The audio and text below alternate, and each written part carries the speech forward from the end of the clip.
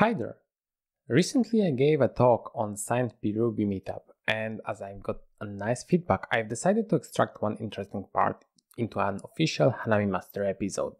It was extremely nice experience for me and I've learned a tremendous amount of stuff about live recordings which are completely different than recording these episodes.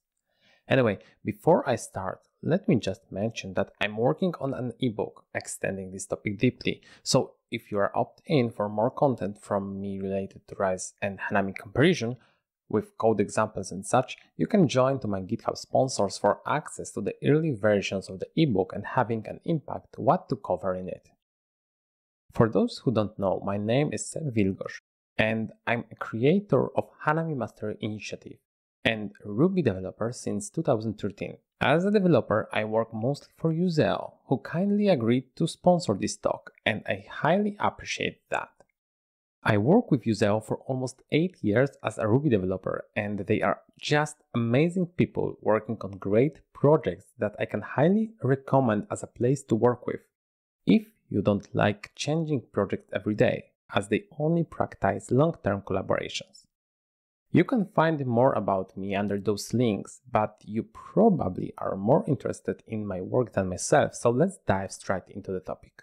In this episode, I will talk about mapping Hanami to Rails, and especially I will focus on different building blocks each of those frameworks has to offer. So it will be easier to grasp Hanami concepts for people with rich Rails experience, and another way around. When I've been starting with Hanami, I was really confused at least several times, mostly because of different assumptions Hanami has over Rails after several years of development with Rails only, to quickly start with Hanami, I needed to map certain parts of Rails application to Hanami just to understand it better and learn faster. I hope you will find it useful. Enjoy! So let's talk about abstractions in Hanami and Rails. I name abstractions all kind of building blocks you will need to build your application. If you have a big experience in Rails, you may be surprised that Hanami encourages you to have way more abstractions from day one of your development. This leads to having fewer but bigger files in Rails and more but smaller files in Hanami. Just switching from one framework to another requires a bit of mindset change and a development workflow to be adjusted. I hope this episode will help you with it. In Rails, you can list all the key abstractions very easily as they are pretty well defined and there are not too many of them. So you have routes, controllers extendable by concerns, then models that are also extendable by concerns, views that are basically templates, mailers, and global helpers. In Hanami, you will be encouraged to have more abstractions in your system depending on your domain and application structure. By default, Hanami introduces way more building blocks, and some of them you may easily understand if you come from Rails world, but others you need to just check as they have no direct mapping to Rails. Quick notice, if you have used dry RB libraries in your Rails projects, you will have a much easier job, and if you used ROM RB as your persistence layer, you are pretty much set up already because Hanami leverages both of those gem families to deliver a complete toolset for building full-featured scalable web applications in Ruby. So in Hanami, we have routes and actions instead of controllers. Then we have contracts as a validation engine.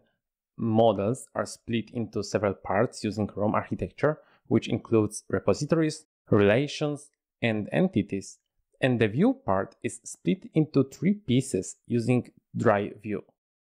That includes views, templates, and parts. Aside of that, we also have the mailers and the view helpers. However, helpers are nowhere near being globally accessible and you get full control of what you include in what place. Let's then take a closer look into differences and try to map those components to each other. Controllers and actions are pretty easy to understand, as they really do play the same role in both frameworks. In Rails, each controller has multiple actions defined as methods. In Hanami, from other hand, you don't have controllers because each action is self-contained and has its own class and file.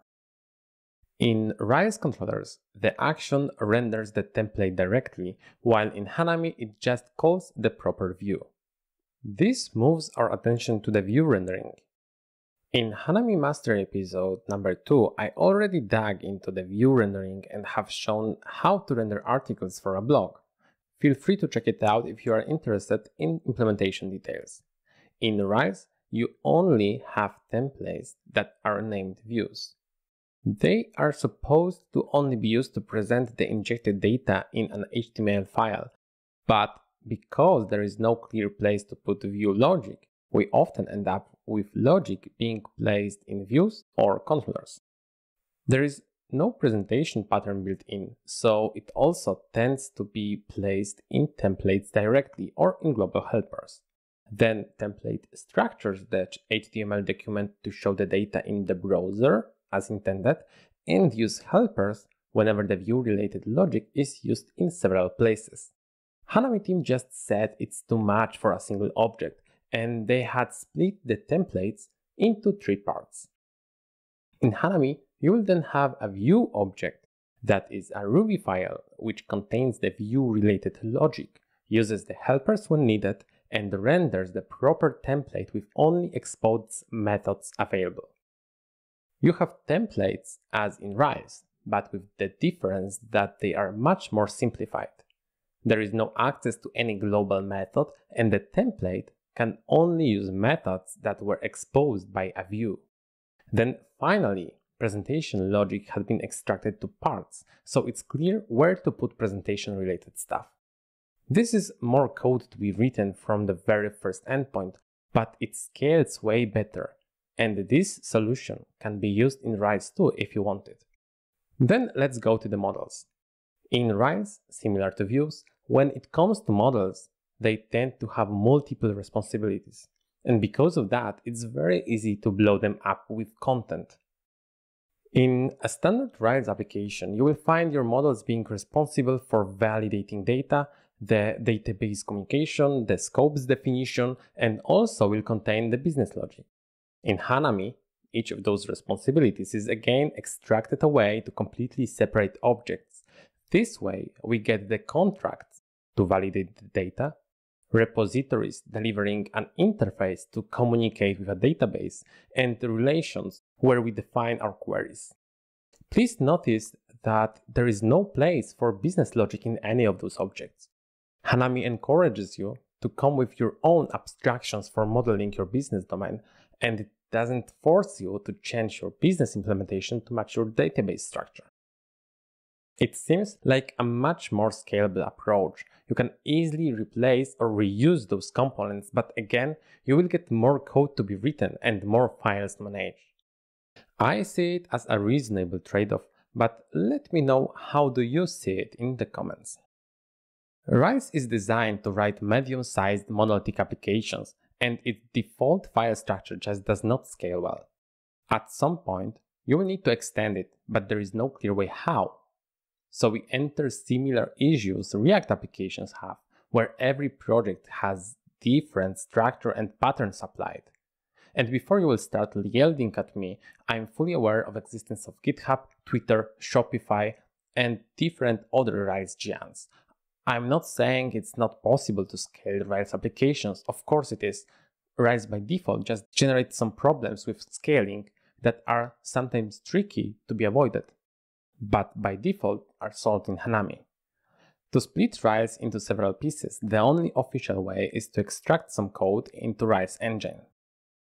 While this is fine, from my experience, extracting anything existing in the main application into an engine is never an easy task. Hanami also evangelizes the monolith first approach, and it also comes with everything needed for a complete web application by default. However, it is designed in the mindset of scaling well from the start. In Hanami, you will organize your app around slices since day one. You may think about them as Rails engines, but not as an option when the app extends, but enabled immediately and used by default. Whenever then comes a need to extract a part of the application into a separate service, it's way easier as you already have encapsulated slices that can be easily removed from the main repository and put somewhere else. Thanks for watching and I hope you enjoyed this episode. I would like to especially thank Useo and Vitaly Pokrytyuk for supporting my channel and the Hanami Mastery Initiative. I appreciate that as without your financial support, this project could not exist. Thanks to all of you for being a part of the great Ruby community and for all the positive reactions you give. You are awesome. You can also see two of my previous videos here, and if you have any suggestions of amazing Ruby gems you would like me to cover or ideas on how to improve, please mention them in the comments. Have a nice day and see you in the next Hanami Mastery episode.